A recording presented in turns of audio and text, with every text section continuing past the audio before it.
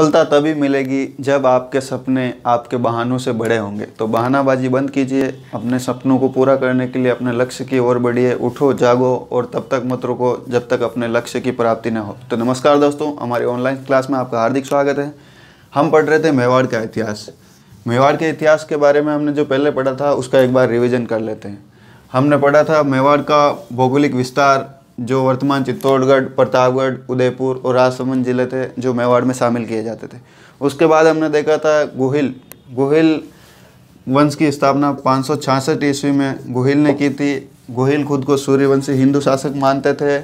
गोहिल वल्लभी के राजा शिलादित्य का पुत्र था। माता का नाम पुष्पावती था। गोहिल के बाद हमने देखा था बप्पा रावल। बापा रावल बापा रावल हारित ऋषि के शिष्य था। उनकी गायें चराएँ करता था। हारित ऋषि के आशीर्वाद से सात सौ चौंतीस ईस्वी में मान मौर्य को हराकर चित्तौड़गढ़ पर कब्जा कर लिया था।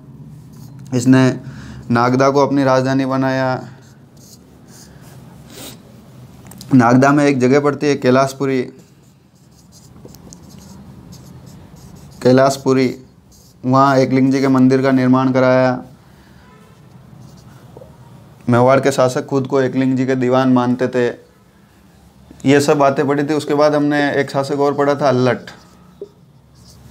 जिसे आलू राहुल भी कहते थे। अल्लट के समय की दो बड़ी बातें हमने देखी थी। एक सारणेश्वर प्रशस्ति और एक आठपुर अभिलेख। सारणेश्वर प्रशस्ति और आठपुर अभिलेख। सारणेश्वर प्रशस्ति में हमें पता चला था कि भाई, अल्लट ने वराह मंदिर का निर्माण कराया था। मेवाड़ में नौकरशाही की स्थापना की थी। इसकी माता का नाम महालक्ष्मी था। बेटे का नाम नरवाहन था और आठपुर अभिलेख से पता चला कि इसने हून राजकुमारी से शादी की थी। हरिया देवी उसका नाम था और हरिया देवी ने एक गाँव बसाया था, जिसका नाम हर्षपुर था। तो ये सामान्य सी बड़ी बड़ी बातें जो मेवाड़ के इतिहास के बारे में हमने पहले देखी थी। अब हम आज जो पढ़ने वाले हैं वो है जैतर सिंह। क्या पढ़ने वाले हैं बच्चों? जैतर सिंह। जैतर सिंह। जैतर सिंह। इस जैतर सिंह के समय से ही हमें इनके जो सत सन हुआ करते थे, वो मिलने मिलने लग गए। तो जैतर सिंह का जो शासनकाल था, वो 1213 ईस्वी से लेकर बारह सौ तिरपन ईस्वी तक माना जाता है। तो जो ये इतिहास में पहले माना जाता था कि भाई ये सन याद करना बहुत महत्वपूर्ण है तो आजकल याद करो, नहीं करो तो भी चल जाता है, लेकिन एक याद कर लोगे तो आप ये एक क्रोनोलॉजी सेट कर पाओगे कि भाई इससे संबंध कि, भाई किस समय, किस शासक के समय क्या हुआ था? इस वजह से वह याद रखो तो अच्छी बात है। और नहीं हो पाए तो इतनी कोई बड़ी बात नहीं। वो पहले जैसी बात नहीं रही। पहले ऐसी कई गलत फहमियाँ बनाई हुई थी कि भाई इतिहास में तो बस सन ही याद करो। सन के अलावा कुछ नहीं होता है। लोग कहते थे इतिहास के बारे में कि भाई इतिहास बड़ी वपा रात को रटो सुबह सब सपा। लेकिन अब ऐसा कुछ नहीं है। तो ये सन देखे जाने लगे हैं। तो इसका 1213 ईस्वी से बारह सौ ईस्वी तक इसने शासन किया था। इस समय क्या हुआ था कि मुस्लिम शासन आ गए, मुस्लिम शासक आ गए थे तो मुस्लिम को अपना एक अलग ही पैटर्न था इतिहास लिखाने का। तो वो अपने वहाँ सन वन लिखाया करते थे तो हमने भी वहाँ से शुरू कर दिया कि भाई हमारे भी राजा महाराजाओं के जो सन है, वो लिखाने लग गए। तो जैतर सिंह ने 1213 से बारह ईस्वी तक शासन किया था। तो जैतर सिंह समय जैतर सिंह के समय की एक बड़ी बात बहुत बड़ी बात थी, वो था भूताला का युद्ध। भूताला भूताला का युद्ध। भूताला का युद्ध। तो अब युद्ध आया है तो हमें सामान्य से बात, दो चीज़ पता चलेगी, भाई कहाँ और कब हुआ? कहाँ हुआ तो ये भूताला में हुआ। भूताला कहाँ थी? ये नागदा के पास, उदयपुर में नागदा के पास एक जगह थी, भूताला, वहाँ हुआ। तो इनकी राजधानी नागदा थी तो सामान्य सी बात है कि नागदा के आसपास ही होगा कहीं युद्ध। हाँ एक आहड़ को उसने अपनी सब राजधानी बनाया था, सब सेंटर बनाया था। तो भूताला के भूताला के पास, ये नागदा के पास भूताला में युद्ध हुआ था।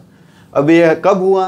कब हुआ तो बहुत सारी किताबों में पहले अलग अलग आता था। कोई बारह सौ चौंतीस कहता था, कोई बारह सौ बाईस कहता था, कोई बारह सौ पैंतीस कहता था, ऐसे अलग अलग बताए गए। लेकिन अभी जो वर्तमान में N C R T tenth की जो बुक आई है, उसमें बारह सौ सत्ताईस बताया गया है।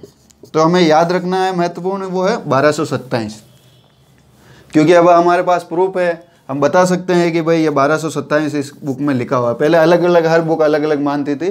तो अब हमें याद रखना कि भाई भूताला का युद्ध कब हुआ था? बारह सौ सत्ताईस ईस्वी में। तो अब युद्ध हुआ है तो सामान्य सी बात है कि दो व्यक्तियों के बीच होगा, कोई अकेले के बीच तो युद्ध हो नहीं सकता है। तो जेतर सिंह के सामने कौन था? जेतर सिंह वर्सेज इल्तुतमिस इल्तुतमिस इल्तुतमिस के बीच हुआ था। जेतर सिंह वर्सेज इल्तुतमिस के बीच ये बुताला का युद्ध हुआ था। तो अब ये इल्तुतमिस कौन था? तो इल्तुतमिस ये दिल्ली का शासक था, दिल्ली का सुल्तान था। गुलाम वंश का शासक था, दिल्ली का सुल्तान था।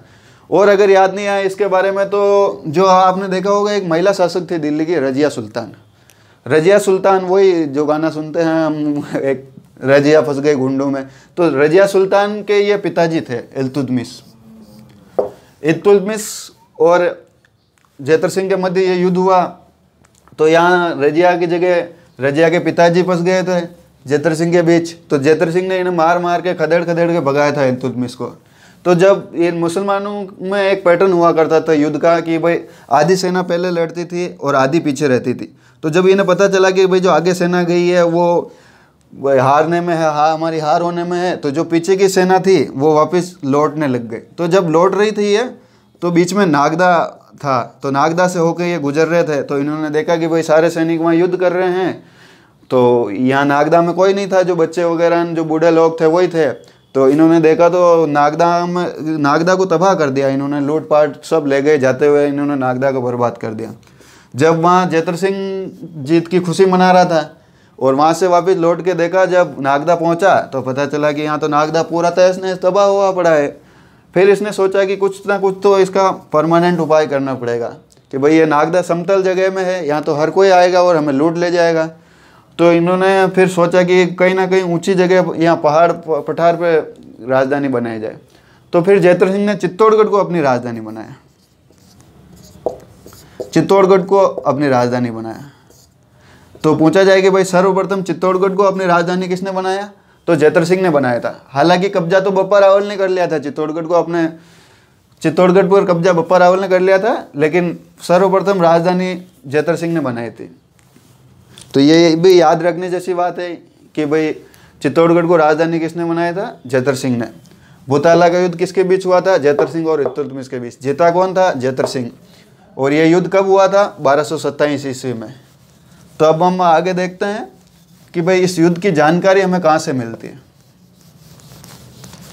इस युद्ध की जानकारी हमें मिलती है, एक इतिहासकार हुए थे, इतिहास, एक लेखक हुए थे जय सिंह सूरी। जय सिंह सूरी।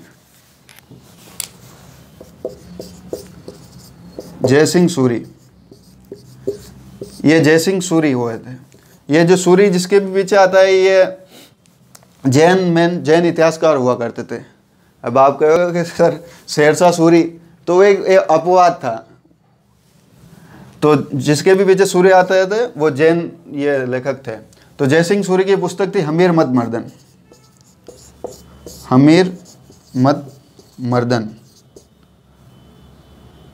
हमीर मत मर्दन तो ये जो हमीर मद मर्दन पुस्तक थी, इसमें इस बुताला के युद्ध की जानकारी मिलती है। तो यह भी याद रखने जैसी बात है कि भाई अगर कहीं पूछा जाए कि भाई ये जो बुताला का युद्ध है, इसकी जानकारी हमें कहाँ से मिलती है?